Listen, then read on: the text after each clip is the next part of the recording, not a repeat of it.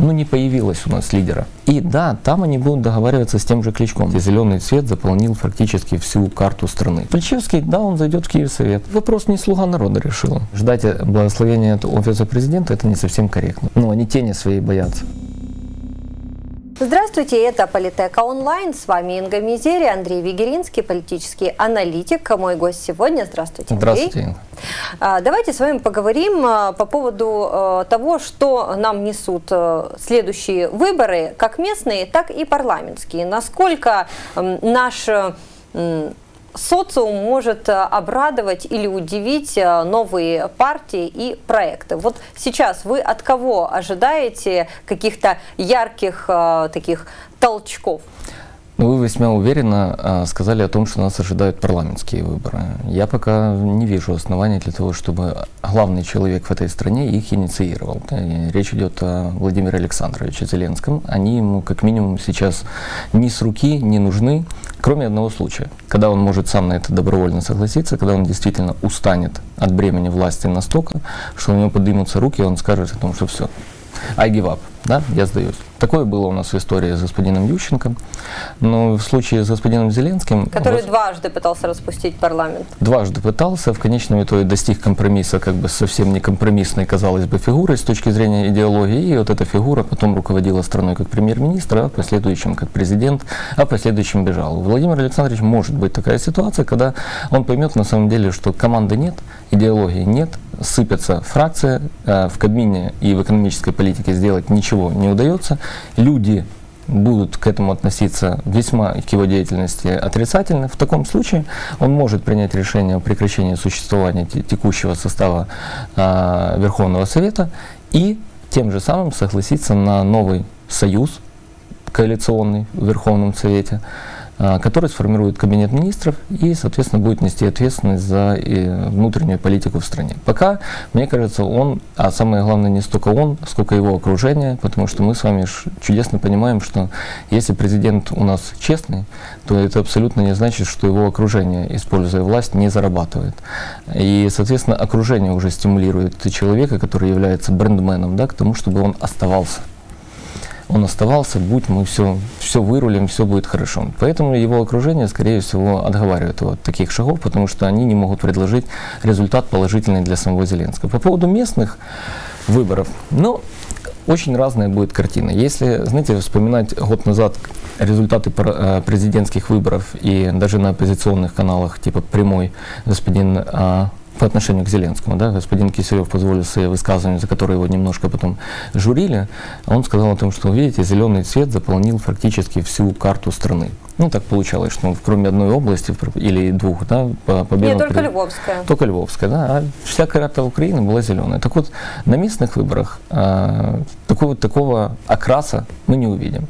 Да, я, я предполагаю, что еще на фоне а, рейтинга, который существовал в «Слуги народа», как, знаете, отголосок а, симпатии к Зеленскому, они пройдут в большинство местных советов. А, я не думаю, что они победят именно на уровне мэров у них все-таки крайне мало личностей, их, ну, их выходцев, которые происходят из непосредственно со слух народа. Поэтому, скорее всего, они будут согласны претендовать на должности секретаря, горсовета. Если мы говорим об администрациях местных, то, соответственно, э, на уровне местных администраций они смогут э, претендовать на назначение на должности. Но э, я не думаю, что в какой-то из областей или в каком-то из местных советов повторится картина парламента Украины, в котором слуги народа выйдут и сформируют монокоалицию. Всегда будет предмет договоренности. И этот предмет договоренности, в зависимости от того, о каком регионе мы говорим, он будет разным. Где-то, вполне возможно, какая бы сейчас категорическая позиция не была там у свободы, им придется договариваться о свободе или свободе с ними. А, ну, это, допустим, в западной области, та же европейская солидарность, но абсолютно точно так же придется искать какой-то компромисс. Но на местном уровне это гораздо проще, потому что мы понимаем, что во многом пропорциональная система местных выборов, она искусственная. Нет у нас в, на уровне районов, сельских советов или ОТГ а, ячеек партий у большинства фракций, представленных в парламенте. Э, единственное, у кого есть, якобы, да, это Батькивщина, но Батькивщина там другая ситуация. Они, насколько, мне, насколько грубо говоря, слух, слухами земля полнится, да, у них очень слабая с точки зрения финансирования избирательная кампания. Соответственно, так или иначе, иногда есть информация, проскакивает о том, что им приходится в какой-то степени те или иные списки или те или иные округа ну, делегировать или отдавать тем людям, которые способны профинансировать избирательную кампанию. Поэтому тут не будет иде идеологического составляющего, как бы, что Батькивщина, она, условно говоря, против рынка земли, против аграрного бизнеса, поэтому все остальные на местах будут вести точно такую же политику. А, я не думаю, что им удастся установить партийную диктатуру, которую каждый, ну, каждое голосование неудачное, которое идет противовес а, партии, которая находится здесь в Киеве, да, или ее исполком, что этих людей будут исключать. Ну, такого не будет, потому что эти люди, по большому счету, свои места и свое участие в выборах они проплатили, они обязательства свои выполнили. Вот, вот примерно так. Восток, это, очевидно, союзы будут, потому что, опять же, такие люди, мне кажется, еще не до конца потеряли доверие к Владимиру Александровичу в части, который э, он обещал людям мир, в части, которой он якобы придерживался позиции, а, которая отстаивает права нас меньшин, по крайней мере, в части образования, в части языка. Ну, по, скажем так, он прямо от этого не отказался. Хотя во многом события прошлой недели, да, они демонстрируют нам то, что сама фракция «Слух народа», она не совсем согласна с позицией, которую ранее на президентских выборах озвучивал Зеленский. Но так не бывает, что обнуляется рейтинг. Люди все равно будут продолжать искать в нем какой-то позитив. Почему?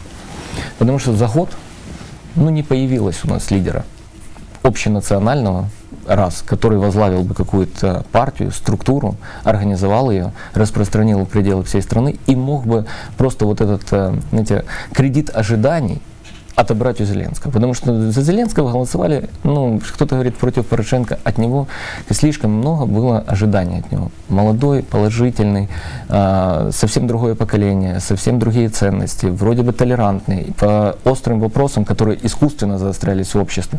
Он пытается искать, ну, сглаживать эти углы, да.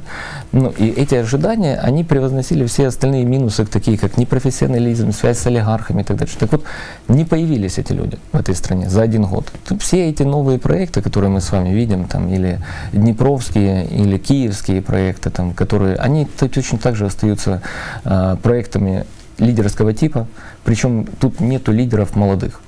Тут все лидеры, которые уже давным-давно используют заезженную пластинку. Только просто под каждую избирательную кампанию они переформатируются. Ну, тот же Филатов успел ну, я не то чтобы его отрицательно к нему отношусь, да, но есть последовательность политика, которая определяется за год. Вот за год у человека было, на съезде Порошенко поддержал, поддержал. С Зеленским встречался, разговаривал, вроде тоже все нормально. То есть человек настолько гибкий, настолько податливый в вопросах конъюнктуры, которая происходит в стране, что говорить о его какой-то позиции, ну, наверное, не приходится. Плюс у него есть Корман.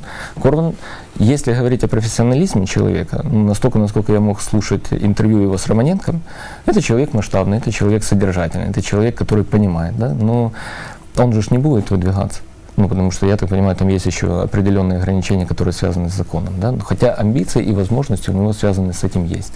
Ну и все в Днепре, допустим, понимают, что на самом деле Филатов это брендмен, лицо, управляет это совсем другой человек. Это и неплохо, если местные жители, они их это устраивает, они это поддерживают. То же самое в Киеве происходит. Кого в Киеве предложили нового, другого? Ну, такого, кто бы не то, чтобы стал лучше Кличка, потому что стать лучше Кличка на самом деле не так сложно. Потому что, опять же таки, Кличко, он положительный спортсмен, человек с э, хорошей историей, человек, который катается на велосипеде, который устраивает всякие флешмобы. Но даже его афоризмы... не профи... дважды э, мэр уже. Дважды мэр уже, да, тем более. Но, а кого предлагают вместо Кличка? Ну, то есть, даже вот эта история с праймери «Слух народа», во многом. Они как бы борются между собой, но на самом деле они не понимают, что когда каждый друг и друга тушит, тот говорит, этот плохой, потому что он с лимонами, да, тот, что с лимонами, говорит, ну, этот друг Коломойского.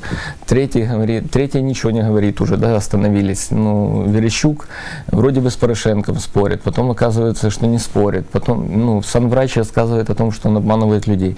Они все девальвируют стоимость не, не себя лично. Себя лично, а мы говорили о их рейтинге, кроме Дубинского, да, Дубинский все-таки по мажоритарке сам прошел, и Тищенко прошел по мажоритарке сам, но без бренда «Слуги народа. Они бы прошли. Да черта с два, простите меня, Дубинский победил бы э, Каноненко в его округе.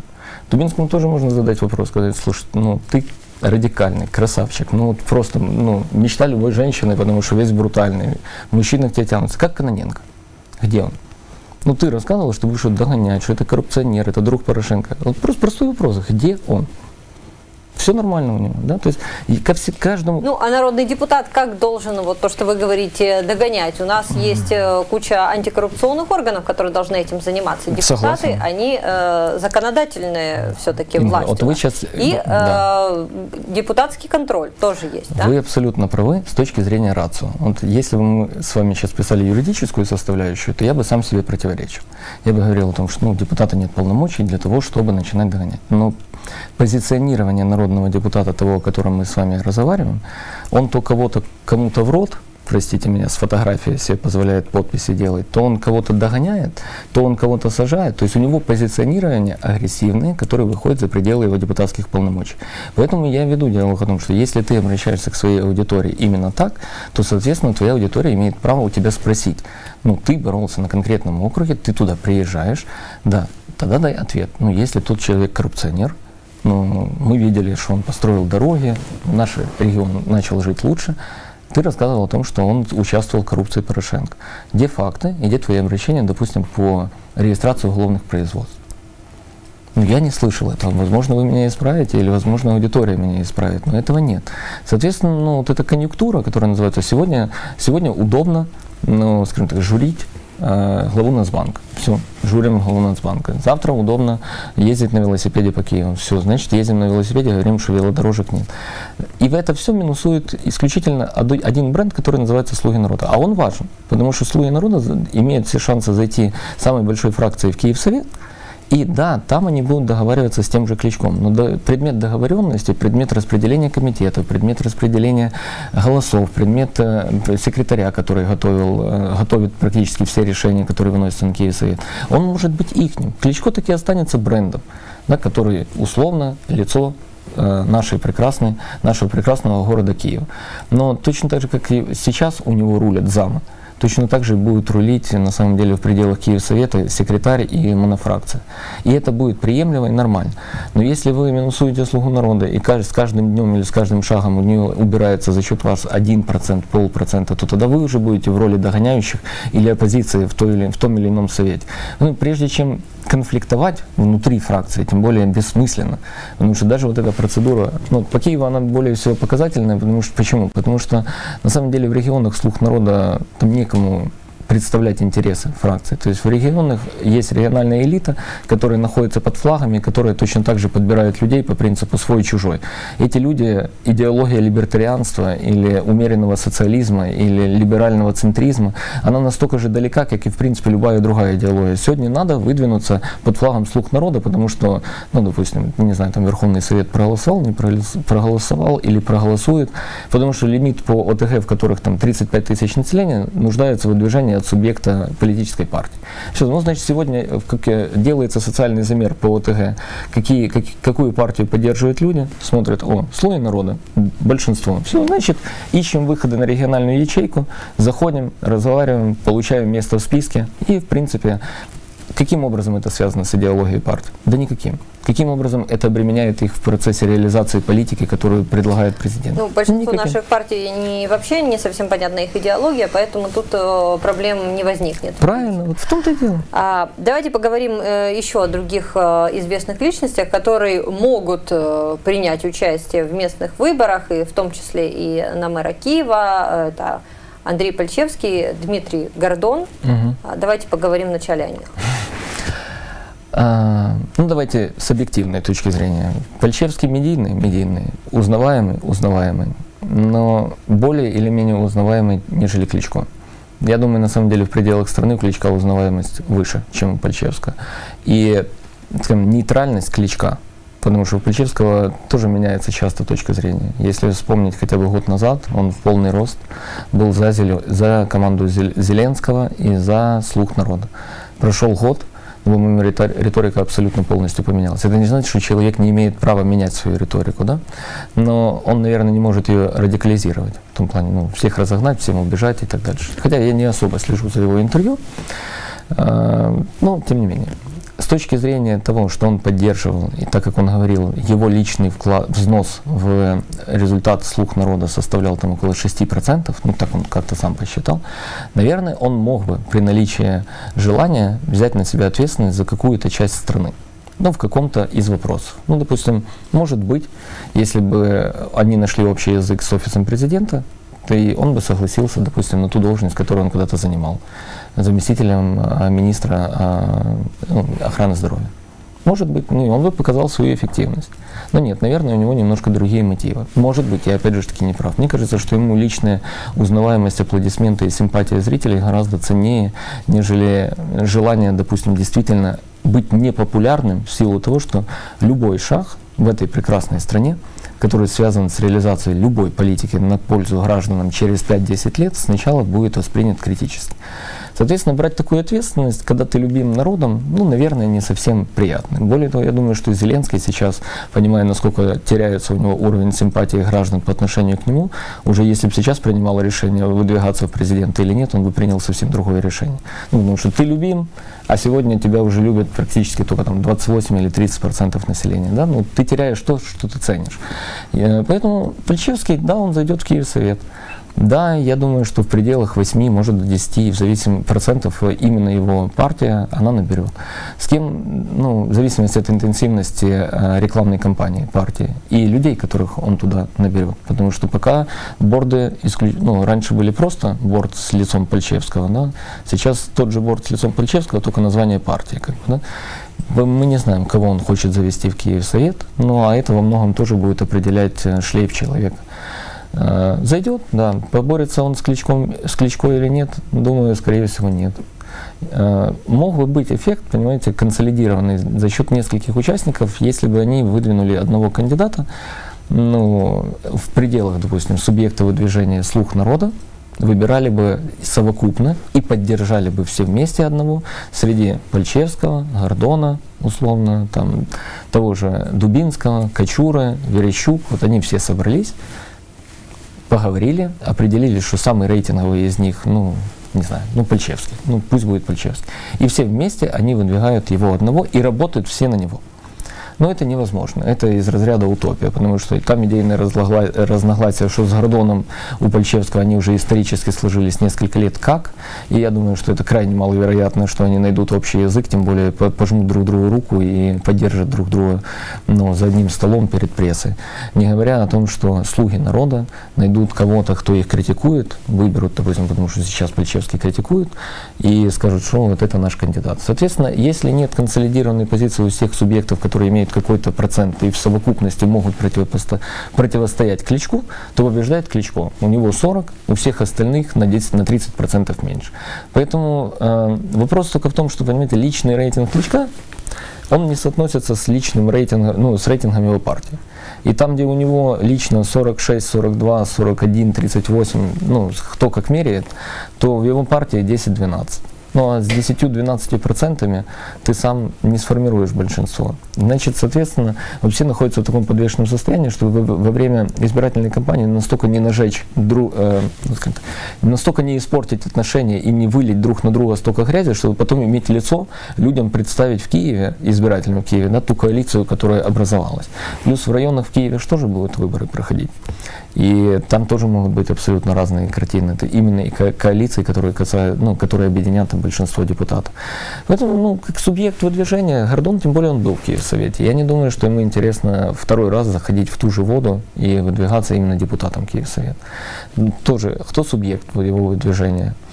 Это очень интересный вопрос. Сила и честь может, я, конечно, что-то пропустил, но я не слышу, чтобы Гордон интенсивно э, сейчас Мешко пиарил на своих интервью или на своих каналах. То есть она есть, эта партия, с Мешка тоже есть какой-то рейтинг, но, по-моему, уже, уже их сотрудничество в пределах парламентской избирательной кампании, в которой Гордон прекрасно разыграл карту такого себе Джокера, э, Смешка, вот когда он, я вам точно, ну помните, эта история была, да, я вам сейчас точно скажу, через неделю, через две, кто будет кандидат, кто станет там, президентом. И вот, вот так вот и люди ждали, ждали, люди же верили, точно так же, как и чемпионата мира не должно было быть по футболу в России, верили, ждали, и этим лидером оказался Смешко. Ну, доиграли они эту кампанию. Сейчас их пути разошлись. Кто может другой его выдвинуть? Ну, теория о том, что э, субъектом выдвижения Гордона будет слуги народа, это чушь. Слух как таковых нет, потому что, ну, как мы можем говорить с вами о том, что слуги... Кто такие слуги? Депутаты в парламенте. Так они разные, все, абсолютно. Если мы говорим о их избирателях, а идентифицируйте избирателей. Ну, то есть сначала вычленить э, Выберите избирателей среди всех, дайте им голоса, проголосовать на праймере за конкретного кандидата в городе Киеве, ну, но это должны быть или ваши избиратели, или члены партии «Слух народа». Много членов партии «Слух народа» в городе Киеве. Да об этом никто не знает. Нас, нас вообще общество не, одно, не ассоциирует себя с партиями, за которыми голосуют. То есть ну, голосование происходит по принципу нравится лидер, не нравится, радиоца, что говорит, не нравится. Идеи, членские взносы, член партии, который участвует в ее собраниях, принимает, э, хочет участвовать в принятии ее решений. Это все нашему глубоко заполитизированному обществу не свойственно от слова совсем. Поэтому мы как бы глубоко в политике, все вместе, все украинцы. Но мы настолько в ней поверхностно, что мы не, мы не хотим быть ее частью. Наша доля участия – это Facebook критика, наша доля участия – это, простите меня, вот там телефонные голосовалки на телевидении, которые есть, ну вот может, те, кто сидят дома, им интересно проголосовать. А так, чтобы они хотели строить партию, стро эту партию строить снизу, с местного уровня, выдвигать ее потом на республикан, на областной, на республиканский, и точно так же расти, эволюционировать вместе с ней, ну, такого не происходит. Почему?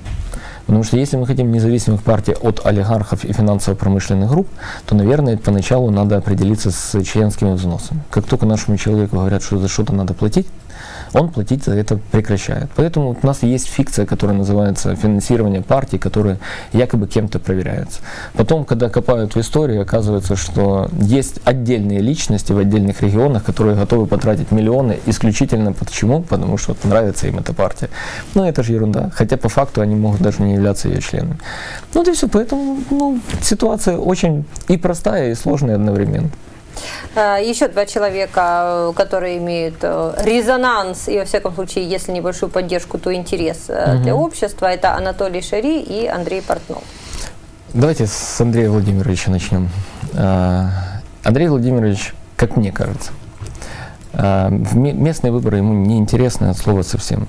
Ну, не его уровень, масштаб не тот. Человек все-таки, если у него есть интересы в политике, да, которые он сейчас там отрицает, хотя и в его интервью, и в интервью его коллеги э, звучали тезисы о том, что следующую избирательную кампанию мы не пропустим. Избира... Следующую не местную, а парламентскую, либо президентскую. Вот если речь идет о президентских, наверное, ему было бы интересно принять в этом участие. Местные неинтересно. А резонанс сейчас немножко э, ушел на спад. Э, ушел в силу объективных обстоятельств. Э, если вспомним, с чего начинал Андрей Владимирович Портнов, начинал он, во-первых, с Петра Алексеевича, несколько десятков производств, э, сообщения о том, как арестовываются активы, сообщения о схемах, которые использовались окружение Петра Алексеевича, которые имеют признаки преступности, и создание общественного толчка – для правоохранительных органов. Потому что с точки зрения политики Зеленскому было бы не с руки, это, кстати, очень правильно, он просто, мне кажется, Зеленский этого не, это неправильно оценил. А, ему неправильно было бы догонять его предшественника, Зеленскому, инициировать проверки, по результатам которым возбуждались бы дела, это имело бы признаки действительно политического преследования. Тебе с общества дают запрос. То есть люди, юристы, подготовленные, готовят документы, направляют, расследуйте. В ходе расследования, в зависимости от того, насколько вы глубоко копнете, вы можете выйти из одного, из одной фабулы в другую фабулу и, в принципе, наверное, довести любое из дел до логического конца. То есть посыл был, подхвачен не был, это вина или рябошапки, или недееспособного труды, трубы, или еще кого-то. Это уже вопрос десятый этот посыл, он подхвачен президентом не был. Но лично Андрею Владимировичу он добавил много узнаваемости. Более того, противопоставление Порошенко и Портнова, оно гораздо более естественное, нежели противоставление Порошенко и Зеленского. Ну, хотя все медиа Порошенко очень пытаются перевести стрелки сейчас, понимая то, что в принципе каждый, э, сейчас я э, этом отдельно остановлюсь, э, пытаются перевести стрелки на субъекта преследования на Зеленского. Почему? Потому что он политик, он президент, люди, которые назначаются его, и любые его неосторожные высказывания в отношении Петра Алексеевича можно толковать действительно в последующем каких-то судебных инстанциях как форму политического преследования. Другая сторона, они пытаются минимизировать наличие в информационном пространстве у себя, по крайней мере, на своих площадках Портнова. Потому что понимают, что пока жив э, Петр Алексеевич и его уголовные дела, до тех пор их ассоциировать будут непосредственно с Андреем Владимировичем Пертовым. По мере того, почему я говорю, что сейчас э, его активность немножко снизилась, а в силу объективных обстоятельств. Дела сыпятся. Сыпятся они из-за внутренних передрях, которые существуют в, слух, в слугах народа и в том, что они не способны организовать работу правоохранительных органов. Быть участником этого, ну то есть стимулировать органы к тому, чтобы они, э, скажем так, быстрее уходили в отставку их лидеры, да, или подогревать интерес к тому, что, смотрите, ДБР не расследует, Венедиктова что-то согласовывает прекращение дел. Зачем это? Они сами себя съедят. Пока он отойдет в сторону, он предложил другую историю. Он предложил, как провести выборы в Луганской и Донецкой области. Кажется, впервые это у него прозвучало в, на, на ЗИКе, да, на телеканале. Это было одно из последних интервью. И он рассказывал о том, как он видит возможность проведения электронного голосования. Там. Он, видите, меняет акцент. То есть в течение года история касалась Петра Алексеевича, и с ней ассоциировали людей. Но он должен демонстрировать обществу, на самом деле, что он человек очень разных интересов не только э, преследующий предыдущего президента, да, он в том числе может предложить решение вопроса, который касается Луганска. Он может предложить вопросы, решение вопроса, которые касаются там, бюджетной, эко, э, социальной политики. Это все будет со временем, потому что он играет в долгую. Если наши политики обычно играют в короткие кампании, там 3 месяца, 6 месяцев, он не, ориенти... он не ориентируется на административную должность, сейчас уже это очевидно, при президенте Зеленском, потому что я помню прекрасно его риторику, у нас был а, эфир совместный в, в эпицентре, где ему вот задают гости вопрос. И я помню, как я вопрос задавал по Сытнику, я задавал вопрос по уголовным преследованиям по э, Порошенко, но с привязкой к тому, как Зеленский на это реагирует. Он очень аккуратно обходил вопросы, которые касались непосредственно Зеленского. Он очень аккуратно обходил вопросы, которые касаются посольств иностранных стран, не, не радикализирован.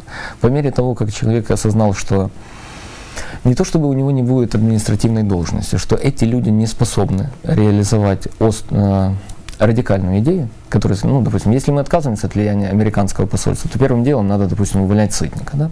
потому что ну, он концентрирует в себе интерес. Это волевое решение, которое нуждается в принятии закона и просто в переходных положениях его увольнения.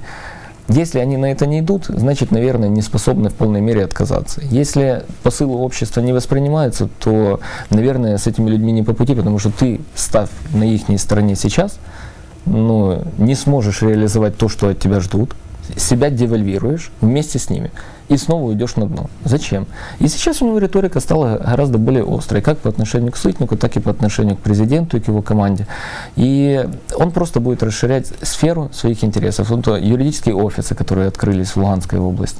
Казалось бы, это не медийная история, которая звучит с экранов телевидения. Но поверьте мне, что на местном уровне Наверное, люди, которые туда обращаются и получают действительно помощь, да, он это оплачивает, это стоит ему денег, это ну, не из воздуха все берется. Но, наверное, они себя ассоциируют больше с ним, человеком, который предоставляет помощь, нежели, допустим, с теми, кто рассказывает о том, что сюда придет мир. Потому что мир придет неизвестно когда, а помощь ты получаешь сегодня. Тебя защищают в суде. Потому что, а, еще очень важный вопрос, он подхватывает социальную группу людей, которые ну, скажем так, были токсичны для всех в течение 2014-2015 года, а сейчас понемножку у людей начинает формироваться мнение, что без них тоже нельзя. Я веду речь о судьях и сотрудниках правоохранительных органов. Если вспомнить, у кого плюс-минус неплохая память, 14, 15, 16 год, назвать себя сотрудником прокуратуры, СБУ, МВД, это было токсичнее не придумать. Ты либо Пшонковец, либо Якимовец, либо еще кто-то из тех, кто бежал, из тех, кто предал страну. Ну, всех люстрировали, все убегали. Что мы, кстати, сегодня слышим от Венедиктовой? За счет иллюстрации надо заплатить 40 миллионов компенсаций. За счет э, аттестации Рябошапки надо уже заплатить 5 миллионов по решениям суда, и еще надо будет, потому что еще тысяча исков в судах. То есть чушь это все. Когда приходит момент, а почему дела разваливаются в суде? Так посмотрите на тех следователей, на тех прокуроров, которые приходят в суд. Ну, они тени своей боятся они, они недостаточно мощны и недостаточно уверены, чтобы противостоять субъектам, на стороне которых играют их бывшие коллеги, которых вы, граждане, которые стали властью в 2014 году, иллюстрировали. Ну, это правда. Не, ну, слушайте, ну, ходят же легенды о том, как дела раньше продавались, и все эти мощные прокуроры, собственно, да, так я не спорю. Де дел, делали так, чтобы э, это все разваливалось правильно, в суде, смотрите. если кто-то правильно вы, вы абсолютно правы. Но вот это, а, это обобщающее понятие, мощные прокуроры, которые продают. Поверьте мне, что к рядовому прокурору в кабинет, либо к следователю службы безопасности, ну, не приходили представители Януковича, не говорили, мы тебе дадим 100, доллар, 100 тысяч долларов, а, продай нам дело. Если они общались с кем-то, то они общались на уровне области и Генеральной прокуратуры. Но вследствие иллюстрации пострадали те, кто называется подчиненные по вертикали. Ну, не ходил прокурор области в суд поддерживать обвинения по э, тем людям, которые задерживались на Майдане. Он убежал потом. Он сохранился, перевелся, перевелся в Генеральную прокуратуру, потом съездил э, в АТО, в зону АТО или ООС, и в какой-то степени уже его простили с точки зрения иллюстрации. Он-то себя защитил. А его подчиненные, которые, которые в силу выполнения обязательств должны были ходить в суд, они получали уголовные преследования. Хотя там были люди, которые прослужили к тому моменту 3-4 года. И поверьте мне, что они были далеки от тех, кто может себе позволить купить на машину за 40 или за 50 тысяч долларов. Жили на зарплату, потому что ну, не у всех получается зарабатывать в органах. А они пострадали. И эти люди с точки зрения государства преданы. То есть они же оценивают, как государство к ним отнеслось. Оно их предало. А кто их защищает сейчас? Государство им пытается... Европейский суд по правам человека говорит о том, что закон иллюстрации, да, он не соответствует базовой декларации об основоположных правах и свободах человека. Наш Конституционный суд только сейчас это рассматривает. Причем Малюська говорит о том, что мы еще будем еще какую-то процедуру придумывать, при том, что 6 лет прошло, и уже ну, часть людей, которые попали под иллюстрацию, автоматически вот этот срок ограничения от власти у них ушел. Так Малюськи чему... тогда не было. А? Это Малюськи не, тогда все... не было, вы а... не справились. Не-не-не, он сейчас представлял же позицию Минюста в Конституционном суде. Я к чему веду? Государство их предало, защищает в судах их кто? Команда Портнова. И если кому-то кажется, что эти люди э, не станут его избирателями в какой-то период времени, что он не олицетворяет условно э, понимание их проблем с точки зрения системы, он ошибается. То есть, если генеральный прокурор Венедиктов вместо того, чтобы сказать, что, ну да, аттестационная комиссия Рябошапки это было немножко по беспределу, и мы согласны принять этих людей, она же как позиционирует этих людей, которые уволились, были уволены, ну, в прошлом году, в январе месяц. Те, кому придется заплатить государственный бюджет. Нет, давайте не так говорить. Вы нарушили права людей, вы их нарушили, в самом деле. Люди пошли в суд и получили судебные решения, которые восстанавливают их права. Вы не с бюджета. Если вы бы не нарушили закон, вам бы не пришлось платить с бюджета. Но надо правильно ставить акцент. А если ты априори формируешь ненависть по отношению к этим субъектам, то как они потом к тебе будут относиться, как к руководителю? Это тоже неправильно. Поэтому вот возвращаюсь уже к Андрею Владимировичу, это мы так с вами. Мне да, кажется, давайте уже да, сократим и по мере, по мере того, как э, как мне кажется, по мере того, как э, демонстрация непрофессиональности, пусть будет вот так, да, отсутствие профессионализма и стойкости в правоохранительных кругах и в команде Зеленского будет становиться все более и более очевидной, токсичность, которая кому-то кажется, что есть на таком субъекте, как Андрей Владимирович Портнов, она будет спадать, потому что эта токсичность во многом надумана. В отношении него с юридической точки зрения нет ни одного факта, который бы свидетельствовал о том, что он является либо преступником, подозреваемым, осужденным, человеком, уклоняющимся от уплаты налогов, либо человеком, который позволил свою клевету, и за эту клевету он понес ответственность. Более наоборот, по-моему, по отношению к телеканалу «Прямой», по отношению к, теле, к господину Порошенко, он как раз получает судебное решение, что они в отношении него э, позволяют себе обнародовать факты, которые не соответствуют действительности. Поэтому с юридической точки зрения у него нет никаких преград для того, чтобы участвовать в публичной политике. И я уверен в том, что он этого хочет. Просто уровень местных выборов, он ему отнюдь не интересен. По поводу Шария, по поводу Шария. Лично о нем говорить сложно. И, э, почему сложно? Если бы он хотел принимать участие в публичной политике в стране, наверное, вот, а, скажем так, аргумент о наличии уголовного производства, он бы его не останавливал. Я о чем говорю? Можно же возглавить список, ну, на местных выборах нужно возглавить список какой-то из, а, какого-то из отделений своей партии, там, где у тебя есть э, уровень узнаваемости, доверия, и стать как минимум лицом, которое позиционирует интересы своих избирателей. Я не слышал о том, чтобы Анатолий Шарий возглавил список какой-то из партий, какой-то из советов или объединенных территориальных громад. Да? Кого он выдвигает? Мы этих людей с вами не знаем. Ну, помимо партии Шария, Оля Шари и Анатолия Шария, к сожалению, с публичной точки зрения, мы на самом деле, наверное, как э, широкая общественность, которая немножко в информационном пространстве разбирается, не знаем больше никого. То, что он имеет поддержку благодаря узнаваемости и во многом перетянет, и тут я абсолютно не солидарен, допустим, с Евгением Мураевым, который в свое время обвинял Шария, что он забрал голоса у оппозиционного блока. Мне кажется, господин Мураев немножко неправильно оценил ситуацию. Тот, у кого голоса э, перетекали к Шарию, это было как раз слуги народа потому что именно та аудитория, именно то, та форма донесения информации и именно та же риторика была. И отнюдь это не консервативный оппозиционный блок был с средним возрастом участников глубоко за 40, чтобы не сказать больше. Да? То есть, ну, если бы он, если и у кого он отберет голоса, это будут слуги народа. По поводу того, его перспективы в масштабах страны, я думаю, что они ограничатся несколько, несколькими областями там, где э, он способен преодолеть 5% барьер. Э, радикализация, которая имеет на сегодня место быть в, противостоянии с национальным корпусом, мне очень жаль, что она перерастает, к сожалению, в физическое противостояние. Более того, мне жаль, что от этого страдают люди, которые, по большому счету, ну, простите меня, но это люди, которые уже, наверное, относятся к поколению, которое больше находится в виртуальном пространстве. Это люди, которые ну, далеки от физического противостояния, либо от, ну, на стороне шария. И они, становясь участниками общественных акций, а в последующем получая телесные повреждения, они становятся жертвами жертвами, которые не готовы к тому, что их будут бить за их убеждения. В одной, с одной стороны, это вызывает жалость в части аудитории, как следствие обращает на себя внимание и на партию, в том числе и на проблематику, которая существует.